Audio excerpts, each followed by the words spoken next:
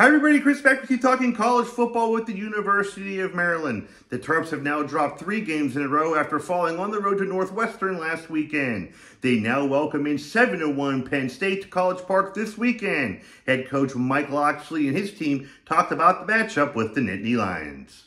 Losing back-to-back games by one score uh, is disappointing. Um, we're a team that, you know, we talked about – being ready to compete for championships, but obviously uh, we're, we're just not there yet.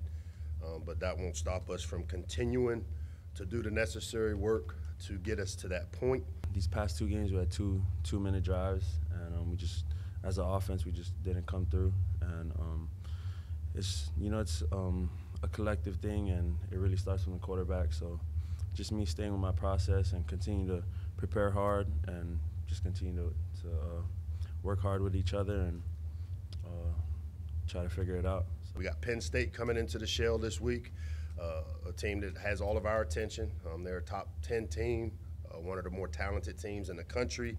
Uh, you know, I look at this week as a great opportunity for us here at home. Obviously, their their their their their defense is one of those uh, top tier defenses. They play a lot of man coverage, which we have to be able to defeat man coverage this week.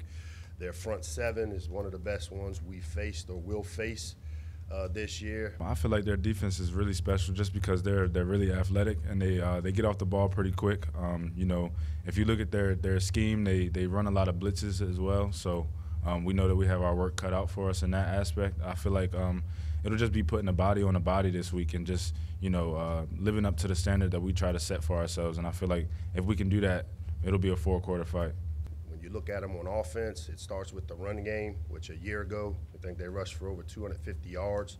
So I would imagine that they're going to try to establish the run. Um, our goal will be to, to take the run away on the defensive side of the ball. And how do you do it? You know, if you look at the way we've played Penn State when we've been able to have success, it's been being very aggressive um, in terms of lining guys up, attacking the line of scrimmage, uh, and, and forcing them to throw the ball to beat us and that's what we'll we'll try to do this this upcoming week. The receiving room's pretty solid. You know him, and then you have uh, Cephas, who's also experienced. We played him before when he was at Kent State. So I mean, they're both you know good good receivers. They can catch the ball. They're smooth. They know the route tree. So I mean, you know, it'll be it'll be a ball game for us. But you know, as our DB room, we, we love a good competition. Maryland and Penn State kick off at 3:30 from Maryland Stadium in College Park this Saturday afternoon.